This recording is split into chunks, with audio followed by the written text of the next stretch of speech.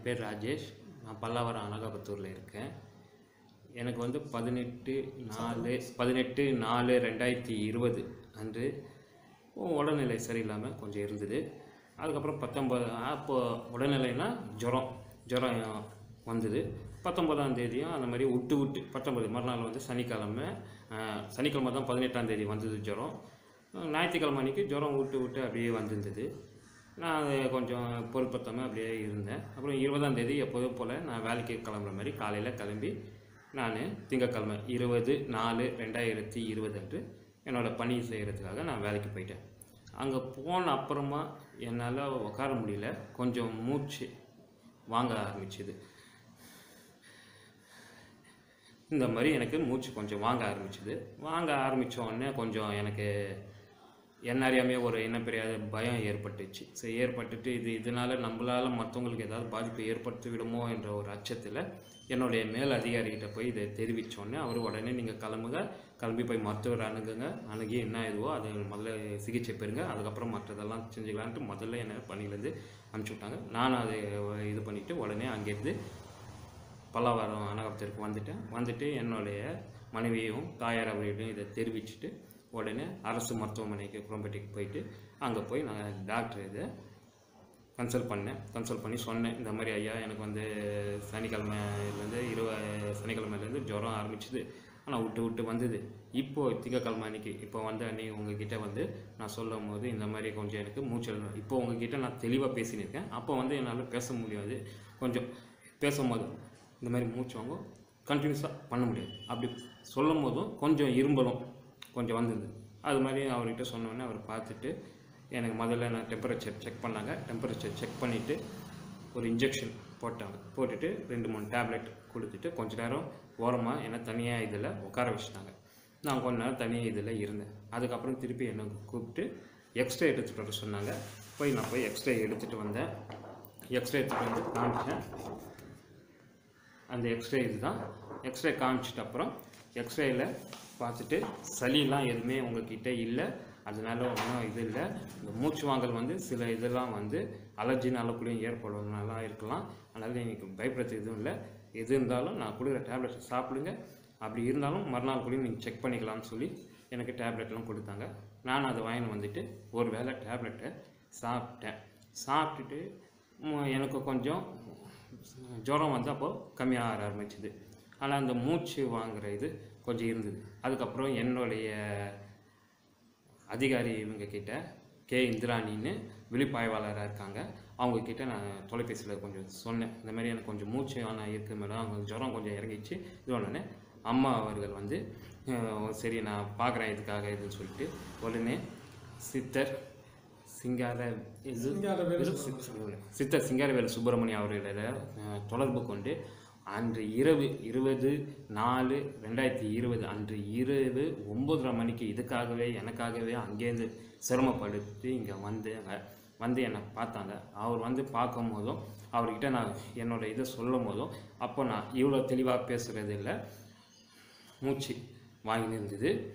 கொஞ்சம் இரும்பல் சொல்லும் போதும் இரும்பல் வரும். வந்தோடனே அவர் பார்த்தோடனே அவர் நீங்கள் முதல்ல பயப்பட வேணாம் எந்த இதுவும் இது தெரியல நான் கொடுக்குற மருந்தை நீங்கள் சாப்பிட்டீங்கன்னா கொஞ்சம் தெளிவாயிடலாம்னு சொல்லி அவர் வந்து ஐயா இந்த மாதிரி ஒரு ப்ரெஸ்கிரிப்ஷன் எந்தெந்த மருந்து எந்த வேலைக்கு எப்படி எப்படி கொடுக்கணுன்றதோட டீட்டெயில்ஸ் இதில் இருக்குது அதோட மருந்தோட கஷாயம் எப்படி போடணும் எந்த கஷாயம் இது வந்து ஜுரத்துக்கு ஜுரம் இருந்தால் இதெல்லாம் சரியாகிடும்ன்றது இதுக்காகவும் சளி இரும்பல் இதெல்லாம் நீக்கிறதுக்கு இதுவாகவும் இது வந்து மூச்சு திணறல் இதெல்லாம் வந்தால் சரியாகுன்றதுக்காகவும் இந்த மூணு மருந்தும் ஒவ்வொரு ரெண்டு மணி நேரத்துக்கு ரெண்டு மணி நேரம் சரௌண்டிங்கில். இது முதல்ல ரெண்டு மணி நேரத்துக்கு குளிச்சு குளிச்சு முடிச்ச அப்புறம் அதுக்கு அடுத்தது இது ரெண்டு மணி நேரம். அதுக்கப்புறம் இது. அந்த மாதிரி குடிங்க குடிச்சிங்கன்னா உங்களுக்கு எந்த வித இதுவும் வராது. இதெல்லாம் சொல்லி எனக்கு முதல் இதை வந்து அவரே காய்ச்சி எப்படி காய்ச்சணுன்றதும் காய்ச்சி போட்டு அவர் கையாலே இரவு ஒம்போதரை மணிக்கு எனக்கு கொடுத்துட்டு போனாங்க. அதுக்கப்புறம் அவர் சொன்ன அந்த நெறிமுறைப்படி நான் அத்தை ரெண்டரை ரெண்டரை ரெண்டரைன்னு நான் குளிச்சுட்டு வந்தேன். மறுநாள் இருபத்தி ஒன்றாந்தேதி காலையில் எனக்கு அந்த மூச்சு திணறல்லாம் இல்லை. மூச்சு மூச்சு திணறல்லாம் இல்லை. அடங்கிச்சு அதுக்கப்புறமா ஜுரம் வந்து எனக்கு ஏற்கனவே இல்லை. இது நடுவுலையும் அரசாங்கம் கொடுத்த மாத்திரையும் இதுவும் நான் சாப்பிட்டுருந்தேன். ஆனால் என்னென்னா ஐயா கொடுக்கும்போது சொல்லிட்டு போனாங்க. நீங்கள் இது சாப்பிடும் போதும் அவங்க கொடுக்குற மாத்திரையும் நீங்கள் எடுத்துக்கலாம்னு சொன்னாங்க. ஆனால் என்னென்னா ரெண்டுத்துக்கும் ஒரு மணி நேரம் இடைவெளியை விட்டு எடுங்க. அதனால் எந்த ஒரு இதுவும் இல்லைன்னு சொன்னாங்க. அவங்க சொன்ன வழிமுறையும் படுத்தியும் அரசாங்கம் சொன்ன இதையும் படுத்தியும் நான் ரெண்டுமே அவன் இப்போ இந்த மாத்திரை இப்போ சாப்பிட்டேன். ஒம்பது மணிக்கு சாப்பிட்டேன்னா இது பத்து மணிக்கா? அந்த மாதிரி வச்சு நான் சாப்பிட்டு அந்த இதையும் இது பண்ணேன். ஜுரமும் இல்லாமல் போச்சு எனக்கு. மூச்சு திணறலும் அடங்க அடங்கிச்சு அதுக்கப்புறம் இருபத்தி ரெண்டாம் தேதி சாரி இருபத்தி ஒன்றாம் தேதி இருபத்தி ஒன்றாம் தேதி எதுக்கும் நம்மளால மற்றவங்களுக்கும் எந்த ஒரு மூச்சு திணறல் உங்களுக்கு எவ்வளோ நேரத்தில் சரியாச்சு? எனக்கு மறுநாள் கா அதாவது இருபதாம் தேதி ஐயா கிட்ட ஒன்பதரை மணிக்கு நான் சொல்லி அவங்க மாச்சு போட்டு கொடுத்துட்டு போனாங்க. இருபத்தி ஒன்றாம் தேதி காலையிலலாம் எனக்கு அந்த மூச்சு எழுந்த உடனே உங்களுக்கு குணமாயிருக்கு. அதான் ஒரு நாள் நைட்டில் ஒரு நாள் நைட்டில் எனக்கு இதாயிடுச்சு. அதுக்கப்புறம் இதுவும் இல்லை. அதுக்கப்புறம் நான் திருப்பி என்ன பண்ணேன்? இருபத்தி ஒன்றாம் தேதி எனக்கு ஜுரமும் அப்போ இல்லை. மூச்சு திணறலாம் அடங்கி போயிடுச்சு. எதுவும் இல்லை. ஃப்ரீயாகவும் பேச ஆரம்பிச்சு. அதுக்கப்புறம் எனக்கு என்ன பண்ணேன்? இருபத்தி ஒன்றாம் தேதி எதுக்கும் நம்ம ஒரு டெஸ்ட்டு பண்ணிவிடுவோம் எதாவது ஏன்னா நம்மளால் மற்றவங்களுக்கு எந்த பாதிப்பும் இருக்கக்கூடாது அதுன்ற ஒரு இதுக்காக இருபத்தி ஒன்றாம் தேதி காலையில் ஒரு பத்து மணிக்காக போயிட்டு புதுப்பேட்டையில் இருக்க அரசு இதில் கொரோனாக்காக நான் டெஸ்ட்டு கொடுத்தேன். அது மூக்கு இதுலேருந்து எனக்கு எடுத்து அந்த இது டெஸ்ட் பண்ணாங்க. டெஸ்ட் பண்ணி அது இரண்டு நாள் கழித்து தான் அந்த ரிசல்ட் வரும்னாங்க. சரின்ட்டு நானும் இது பண்ணிவிட்டு வந்துட்டேன். வந்துட்டு அரசாங்கம் சொன்ன இதுவும் கடைப்பிடிச்சி தனி ரூமில் தனிமை நானே தனிமைப்படுத்திக்கிட்டு நானும் தனிமை இருந்தேன். ஐயா கொடுத்த மருந்தையும் கண்டினியூஸாக சாப்பிட்டுட்டு வந்திருந்தேன்.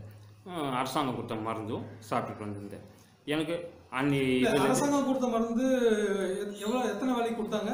மூணு வேலைக்கு அதாவது மூணு நாளைக்கு. மூணு நாள் மூணு வேலை மூணு நாளைக்கு கொடுத்துருந்தாங்க. அதே மாதிரி நான் அதையும் மூணு நாளைக்கு கரெக்டாக அதை ஃபாலோ பண்ணி சாப்பிட்டு வந்திருந்தேன். ஐயா கொடுத்ததும் சாப்பிட்டு வந்திருந்தேன்.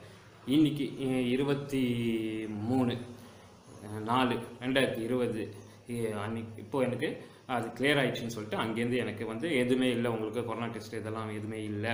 உங்களுக்கு வந்து நெகட்டிவ் தான். அதனால் நீங்கள் பயப்பட வேண்டியது இல்லைன்னு சொல்லிட்டு எனக்கு அங்கேருந்து தகவல் தெரிவித்தாங்க தகவல் தெரிவிச்சாங்க. இந்த இதில் வந்து நான் இந்த மருந்தையும் சேர்த்து சாப்பிட்டனால எனக்கு வந்து எந்த விதமான இதுவும் இல்லை இது வரைக்கும்.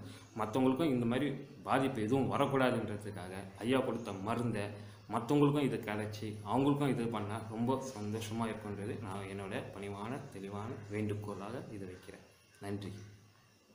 ஓம் நம சிவைய மசிவைன சிவைய நம வைணமசிய நம சிவ என்னுடைய பேர் சிங்காரவேலு சுப்பிரமணியம். நாட்டு மருந்து. சித்தா ஆயுர்வேதிக் ஸோ இது எல்லாத்தையும் நான் வந்து ரிசர்ச் பண்ணிட்டு இருந்தேன். அப்படி ரிசர்ச் பண்ணிடும்போது என்கிட்ட வர கிளைண்ட்ஸுக்கு நான் என்ன கொடுப்பேன்னாக்கா இந்த அவங்களுக்கு ஏதாவது உடல்நிலை சரியில்லும் போது இந்த நவகிரக கோச்சா ரீதியாக எந்த கிரகம் பாதிப்பு இருக்கோ அந்த கிரகத்துக்கான தான தானியங்களை அவங்களுக்கு வந்து பரிகாரமாக வழங்கியிருக்கேன். அப்போது இந்த மாதிரி கோல்டு ஜுரம் இதுக்கெல்லாம் வந்து நிறைய ஹெர்பல் அந்த மூலிகை இதுவை வந்து நான் மிக்ஸ் பண்ணி கொடுத்துருக்கேன் அவங்களுக்கு எல்லாருக்கும் குணமாக இருக்குது இது ஜலதோஷத்துக்கு நான் வந்து என்னை நாடி வர அன்பர்களுக்கு நிறைய பேருக்கு இந்த மூலிகை அமைப்பில் வந்து கொடுத்துருக்கேன். அந்த மூலிகைன்னா என்னங்க? நம்ம தினமும் அன்றாடம் பயன்படுத்தக்கூடிய இஞ்சி மிளகு இந்த மாதிரி விஷயங்களை தான் வந்து நம்ம எல்லாமே மூலிகைன்னு சொல்லுவோம். ஒவ்வொருத்தர் வீட்லேயும் அஞ்சரை பெட்டின்னு சொல்லுவாங்க. அதில் வந்து மசாலா டப்பான்னு சொல்லுவாங்க. ஸோ அதில் வந்து நிறைய இருக்கிறது எல்லாமே மூலிகை தான். அதைத்தான் நம்ம வந்து மூலிகை மூலிகை சொல்லிட்டு இருக்கோம். இப்போ மூலிகைனா ஏதோ ஆஹ், வானத்திலிருந்து மாதிரி நம்ம நினைக்க வேண்டாம். சாதாரணமாக எளிமையான மூலிகைகளை தான் நான் வந்து இதை ப்ரிப்பேர் பண்ணி கொடுத்துருக்குறேன். அதில் எல்லாருக்கும் நான் குணமாயிருக்கு.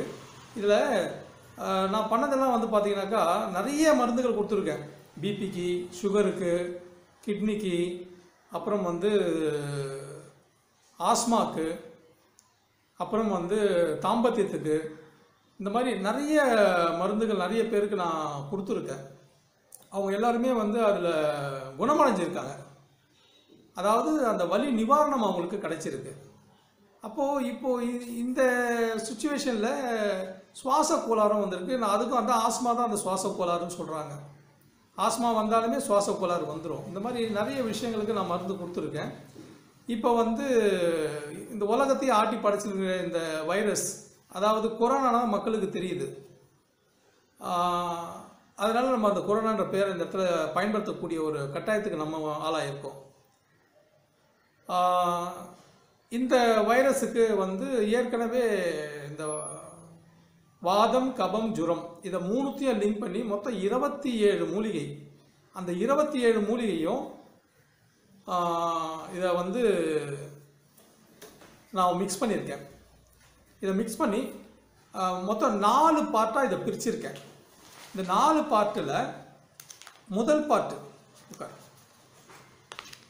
இந்த முதல் பார்ட் இது வந்து பார்த்தீங்கன்னாக்கா ஜுரத்துக்கு வந்து பேருதவி பண்ணும். இந்த ஜுரம் எவ்வளோ ஹை ஜுரமாக இருந்தாலும் ஒவ்வொரு நாலு மணி நேரத்துக்கு இதை எடுத்தோம்னா ஜுரம் வந்து பறந்து போயிடும். இது கூட இந்த இப்போ இந்த சமீபத்தில் எல்லாருமே வந்து வைரஸை வைரஸ் தொத்தில் வந்து பிரச்சனையை ஃபேஸ் பண்ணுறாங்க அவங்க எல்லாரும் நிறைய பேர் பாதிக்கப்பட்டவங்க முக்கால்வாசி பேர் பார்த்திங்கன்னா இந்த சக்கரை நோய் உள்ளவங்களுக்கு பெரிய பிரச்சனையாக இருக்குது இந்த வைரஸ். அதே மாதிரி லங்ஸில் ப்ராப்ளம் உள்ளவங்களுக்கு பெரிய பிரச்சனையாக இருக்குது ஸோ இது ரெண்டுமே பாதிக்கப்படும் போது ஜுரம். ஸோ அதனால் இந்த இந்த ஜுரத்துக்கு வந்து இது இந்த மருந்தை நான் பல மூலிகைகள் மொத்தம் இருபத்தேழு மூலிகையை நாலாக பிரிச்சிருக்கேன். அதில் நாலில் ஒரே ஒரு மூலிகை வந்து ஃபைனலாக வச்சுருக்கேன். இந்த மூலிகை தான் மு- முக்கியமான இது. இதில் வந்து இந்த மருந்து வந்து ஜுரத்துக்கு அந்த கிட்னி பேஷண்ட்டுக்கும் சர்க்கரை நோய் உள்ளவங்களுக்கும் ப்ளஸ் ரத்த கொதிப்பு இதய நோய் உள்ளவங்களுக்கும் இந்த மருந்து வந்து அருமருந்தாக செயல்படும். அது கூட அவங்களுக்கு எந்த பக்க விளைவும் இல்லாமல் ஜுரத்தை வந்து சரி பண்ணி கொடுக்கும். அதுக்கப்புறம் மூக்கடப்பு ரன்னிங் நோஸு தொண்டைப்புண்ணு இரும்பல் அதெல்லாம் இருக்குது ஸோ இதுக்கு வந்து பார்த்தோம்னாக்கா இந்த ரெண்டாவது அப்படின்ற இதில் வந்து அந்த இருபத்தேழு மூலிகை மூணாக பிரிச்சேன் இல்லையா? அதில் இந்த ரெண்டாவது டோசேஜ் இதை வந்து பார்த்தீங்கன்னாக்கா இதை இது குடிக்கும்போதே நமக்கு வந்து தொண்டை புண்ணெல்லாம் வந்து சரியாயிடும். இப்போ நைட்டு குடித்தாலும் காலையில் அவங்களுக்கு க்யூர் ஆகிடும் இப்போ இது கூட இந்த வைரஸ் தொற்றுல வந்து மேஜராக பாதிக்கப்படுறது வந்து சுவாச கோளாறு. ஸோ அந்த சுவாச கோளாறுக்கு வந்து அந்த இருபத்தேழு மூலிகையில் மூணாவது பிரிச்சதில் அந்த மூணாவது இந்த சுவாச கோளாறு. இந்த மாதிரி மூணாக பிரிச்சிருக்கேன். நாலாவது வந்து இந்த பிரச்சனைகள் எல்லாம் சரியானதுக்கு அப்புறம் வயிற்றில் இருக்கிற அந்த கிருமி அவங்களுக்கு வந்து வ- வயிற்று வந்து வெளியே போகிறதுக்கு நாலாவது கிருமியை சாப்பிட்டாங்கன்னா அந்த நாலாவது ஹெர்பலை சாப்பிடும்போது அது வந்து வெளியே போயிடும். அதாவது டாய்லெட் வழியாக வெளியே போயிடும்.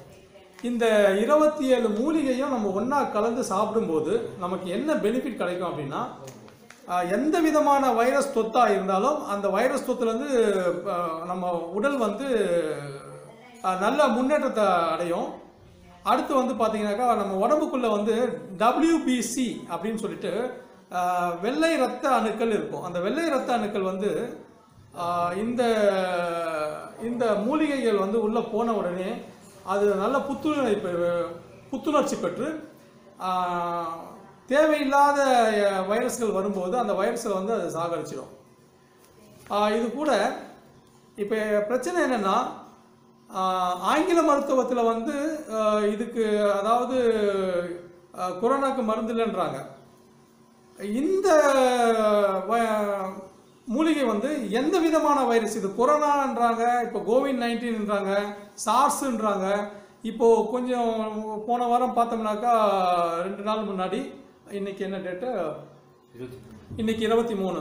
ஸோ நேற்றுக்கு பார்த்தோம்னாக்கா இருபத்தி ரெண்டாம் தேதி கோவையில் வந்து டெங்கு காய்ச்சல் அதிகமாக இருக்குது அப்படின்ற மாதிரி சொல்கிறாங்க ஸோ டெங்கு காய்ச்சலுக்கும் இந்த மருந்து வந்து அருமருந்தாக இருக்கும். அதனால தான் இதுக்கு சர்வ சஞ்சீவினி அப்படின்ற ஒரு நாமகரணம் கடவுள் மூலியமாக கடவுளாக எனக்கு அனுகிரகம் கொடுத்து கொடுத்த பேர் அது.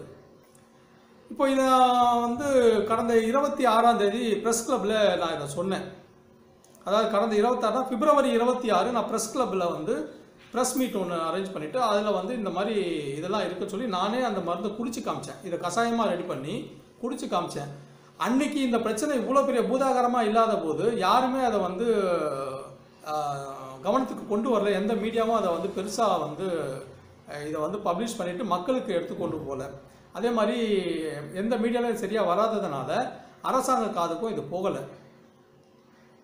இப்போ இவர் வந்து ஒரு பொறுப்பான ஒரு அரசாங்க துறையில் வேலை பார்த்துட்டு இருக்காங்க. இந்த மாதிரி அரசாங்க டிபார்ட்மெண்ட்டில் காவல்துறை என்ன இந்த மாதிரி ஒரு பொறுப்பான ஒரு டிபார்ட்மெண்ட்டில் இருக்கும்போது இவங்களுக்கெல்லாம் இந்த மாதிரி பிரச்சனை வந்ததுன்னா என்னுடைய எண்ணம் என்னுடைய நல்ல எண்ணம் என்னென்னா நம்மளுடைய இராணுவமே இதை வந்து ப்ரொடெக்ட் எடுத்துக்கிட்டாக்கா நாடு பலமான ஒரு ஸ்ட்ரென்த் இருக்கும். ஸோ அதில் இருபத்தி இருபதாம் தேதி ஆமாம் கடந்த இருபதாம் தேதி நைட்டு எனக்கு வந்து இவங்க அழைச்சாங்க. அது மூலிமா நான் இங்கே வந்தேன். வந்துட்டு இவரை பார்க்கும்போது இவருடைய அந்த பாடி கண்டிஷன் பார்த்தீங்கன்னாக்கா வீசிங் அதிகமாக இருந்தது. இதுக்கு முன்னாடி உங்களுக்கு வீசிங். வீசிங் கிடையாது இது முன்னாடி எனக்கு வீசிங் இல்லை. இதுக்கு முன்னாடி எப்பவுமே வந்தது கிடையாது. ஆர் யூ ஷுர் சரி அது சரி. நல்லது. ஸோ இப்போ பார்த்தீங்கன்னாக்கா அன்னைக்கு இருபதாம் தேதி நான் நைட்டு வரும்போது இவருக்கு வந்து அந்த மாதிரி ஒரு சுவாசம் அந்த சுவாசம் வந்து ஒரு அப்படியே மூச்சு நல்லா இழுத்து இழுத்து விட்டு பேசின்றாரு. அவருடைய பேச்சு தெளிவாக இல்லாமல் இருந்துச்சு. அதுக்கப்புறம் பேசும்போது ரெண்டு வார்த்தை பேசினா நாலு தடவை இரும்பிட்டு இருந்தார். அப்புறமா அரசாங்க ஆஸ்பத்திரி அந்த டீட்டெயிலாம் அவரே சொன்னார் உங்களுக்கு. அரசாங்க ஆஸ்பத்திரி போயிருக்காங்க. அவங்க மெடிசன் கொடுத்து வீட்டுக்கு அனுப்பிச்சிருக்காங்க நான் என்ன பண்ணேன் இந்த சுவாச கோளாறுன்ன உடனே இந்த மூணாவது ஹெர்பல் டோசேஜ் இதை வந்து உடனே அவருக்கு வந்து ஒரு கஷாயம் காசி அவருக்கு கொடுத்தேன். அதுக்கப்புறம் ஒவ்வொரு ரெண்டு மணி நேரத்துக்கு இதை மாற்றி மாற்றி குடிக்க சொன்னேன். இது கூட ஆங்கில மருத்துவத்தையும் எடுத்துக்கங்க. அதுக்கு இதுக்கும் ஒரு மணி நேரம் டிஃப்ரெண்ட்டை வச்சு நீங்கள் சாப்பிடுங்க. ஒன்றும் பிரச்சனை இல்லைங்க.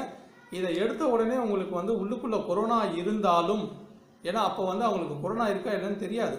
கொரோனா இருந்தாலும் அது சரியாயிடும்.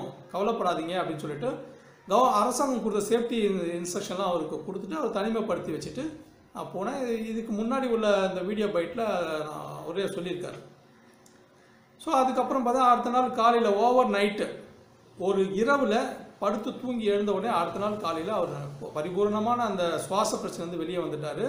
இவரே வண்டியை எடுத்துக்கிட்டு சிட்டி வரைக்கும் போயிட்டு வந்திருக்காரு. அதுக்கப்புறம் நான் வந்து பார்த்துட்டு ஒரு இந்த மாதிரி ஒரு பேட்டி வீடியோ கிளிப் ஒன்று எடுத்தேன். அப்புறம் இது வந்து நாலாவது நாள். இன்றைக்கி இன்னைக்கு வந்து இருபத்தி மூணு இருபத்தி மூணு நாலு ரெண்டாயிரத்தி இருபது. ஸோ மணி என்னாச்சு? மணி வந்து அஞ்சு நாற்பத்தஞ்சு. இந்த நேரத்தில் வந்து இந்த பேட்டியை நான் ரெண்டு வந்து வாங்குகிறேன் நான் மக்களுக்கும் அரசாங்கத்துக்கும் என்ன சொல்கிறேன்னா இந்த அலோபதி அதாவது ஆங்கில மருத்துவம் இல்லாமல் இந்த காலகட்டம் வந்து நடைமுறையில் எதுவுமே சாத்தியம் இல்லை. எப்படி நம்ம வந்து ஒரு அந்த காலத்தில் ஃபோன் வச்சு டயல் பண்ணிவிட்டு ஹலோ சொல்லணுமோ ட்ரங்கால் போட்டு பேசணுமோ? ஸோ அந்த மாதிரி தான் இன்றைக்கி வந்து சித்த வைத்தியம் இருக்குது இப்போ வந்து ஆண்ட்ராய்டு ஃபோன் மாதிரி நம்ம ஆங்கில மருத்துவம். இப்போது ரொம்ப மூச்சு வாங்கும்போது இது கொடுத்தா உடனே சரியாகுமானா இல்லை அவருக்கு வெண்டிலேட்டர் கொடுத்துட்டு அது கூட இதையும் சேர்த்து கொடுக்கணும். அதாவது ஆங்கில மருத்துவத்தோடு இதையும் சேர்த்து கொடுத்தோம்னா கொரோனா அப்படின்ற ஒன்று இந்தியாவில் இருக்காது. உலகத்திலேயே இருக்காது. இது என்னுள்ள இருக்கிற இறை ஞானத்தோட நான் உங்களுக்கு இதை சொல்ல கடமைப்பட்டிருக்கிறேன். ஆங்கில மருத்துவம் வந்து இப்போது பார்த்தீங்கன்னாக்கா கால் உடஞ்சிருக்குனாக்கா அந்த காலத்தில் புத்தூர் கட்டுன்னு சொல்லுவாங்க. பச்சையில் வச்சு கட்டுவாங்க. அதுக்கு முன்னெல்லாம் நம்ம முன்னோர்கள். இப்போ பார்த்தா புத்தூர் கட்டுறது தான் ஃபேமஸாக இருக்குது அதில் வந்து அட்வான்ஸாக போயிட்டு அந்த பிளேட்லாம் வச்சு ஸ்க்ரூலாம் போட்டு இன்றைக்கி வந்து நிறைய ஆப்ஷன்ஸ்லாம் இருக்குது இருதய மாற்று சிகிச்சை இருக்குது கிட்னி மாற்றுலாம் சிகிச்சைலாம் கொடுக்குறாங்க.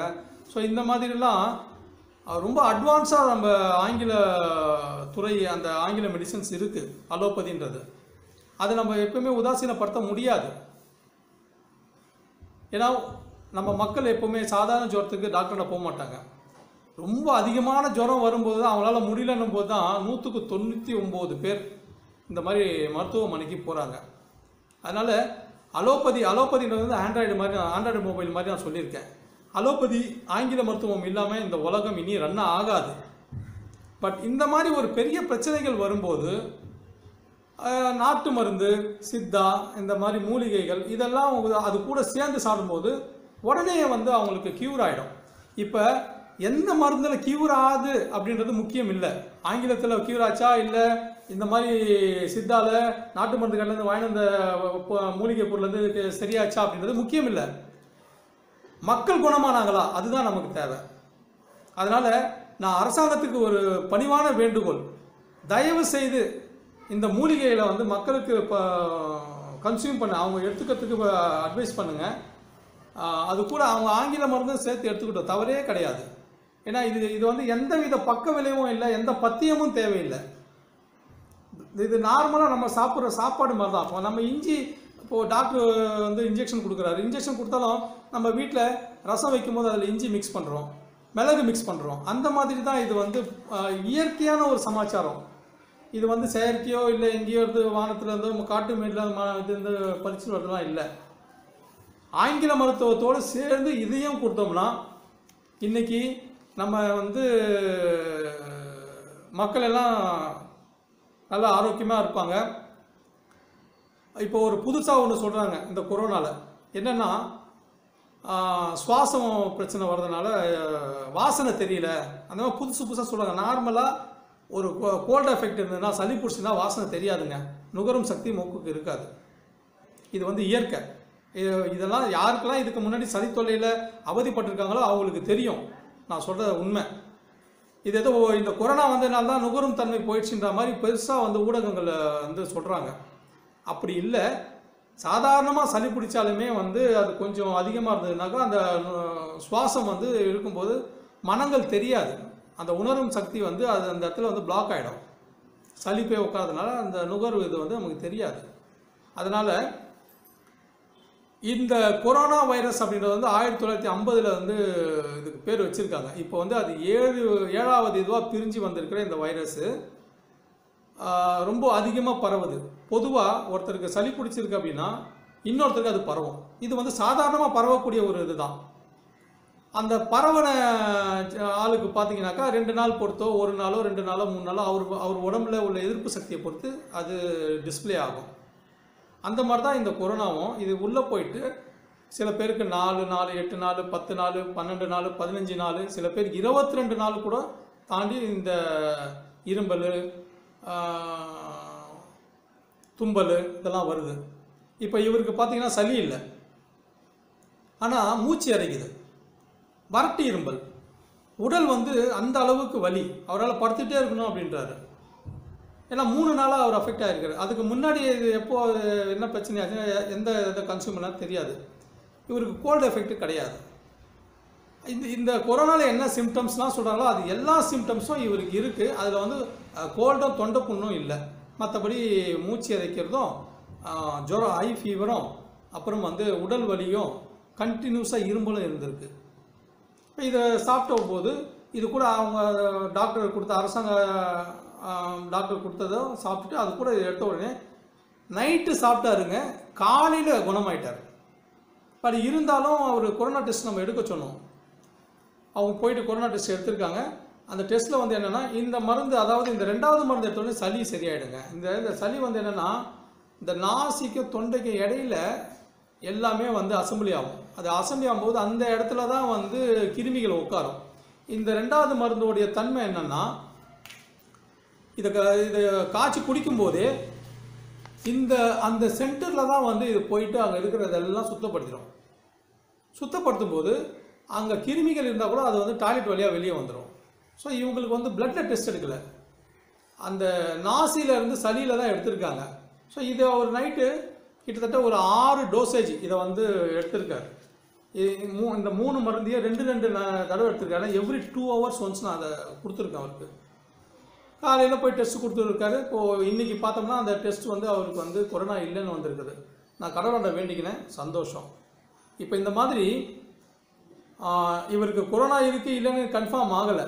ஒருவேளை இதை சாப்பிட்டு இல்லைன்னா அவருக்கு கொரோனா இருக்குன்னு கன்ஃபார்ம் ஆயிருக்கலாம். இது வந்து யூகத்தின் அடிப்படையில் தான் சொல்ல சொல்கிற மாதிரி இருக்க தவிர இதை எடுக்காமல் அவர் டெஸ்ட் எடுத்திருந்தாக்கா அவருக்கு கண்டிப்பாக அது பாசிட்டிவாக இருக்கிறதுக்கு வாய்ப்புகள் அதிகம்.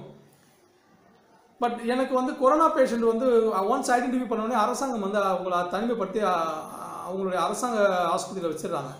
இந்த மாதிரி கொரோனா பேஷண்ட்டுகளுக்கும் நம்ம ஆங்கில மருத்துவத்தோடு இதையும் சேர்த்து கொடுத்தோம்னா அஞ்சு நாளில் அவங்க நூறு சதவீதம் அவங்க சரியாயிடுவாங்க.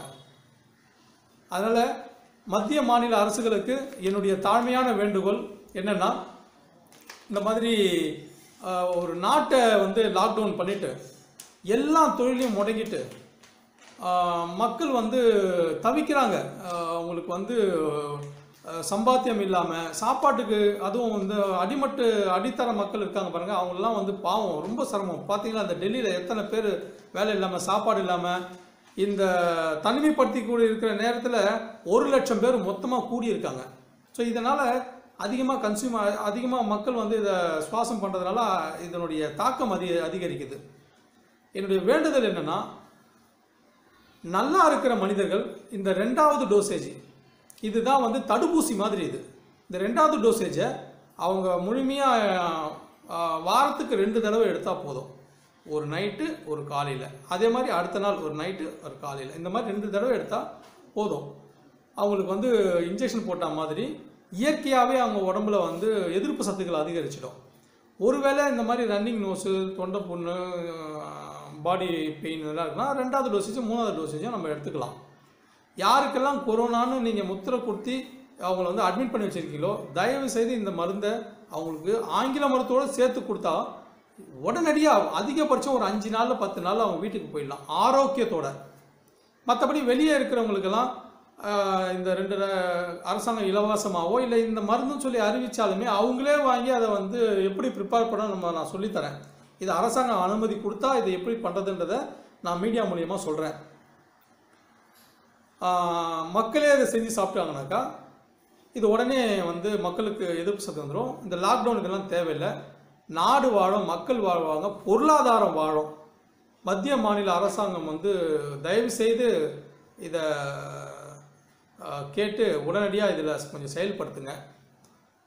பாதிக்கப்பட்ட சைனா இன்றைக்கி அவங்க வந்து ப்ரொடெக்ஷன் வந்து அதாவது அவங்க உள்நாட்டு இதெல்லாம் ரொம்ப சுறுசுறுப்பாக இயங்கிக்கிட்டு தான் இருக்குது அந்த ஒரு மாகாணத்தை உகான் அப்படின்ற மாகாணத்தை தவிர்த்து மற்ற எல்லாமே இயங்கிட்டு தான் இருக்குது.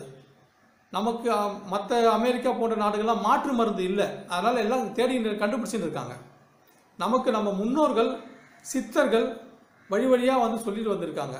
நமக்கு ஒரு மாற்று மருந்து இருக்குது ஸோ அதனால் எப்படி வந்து ஆங்கில மருத்துவத்தில் மருந்து இல்லைன்னு சொல்லிட்டு நம்ம ட்ரீட்மெண்ட் கொடுத்துட்டு இருக்கோமோ இதில் மருந்து இருக்கணும் போது அது கூட சேர்ந்து இதையும் கொடுத்து ரெண்டும் மிக்ஸ் பண்ணுங்கள் இதில் குணமான உடனே இதில் என்ன கெமிக்கல் இருக்குன்னு செக் பண்ணிவிட்டு அந்த கெமிக்கலை இன்ஜெக்ஷனாக ப்ரிப்பேர் பண்ணுங்கள் உலக நாடுகளுக்கே நம்ம வந்து இந்த மருந்தை கொடுக்கக்கூடிய ஒரு அமைப்பு இருக்குது. மத்திய மாநில அரசாங்கம் வந்து இதில் கருணை காட்சி மக்களுக்கு நல்லது பண்ணணும்னு சொல்லி தாழ்மையுடன் வேண்டிக் கொள்கிறேன். நன்றி வணக்கம். வாஸ்து சித்தர் சிங்காரவேலு சுப்பிரமணியம்.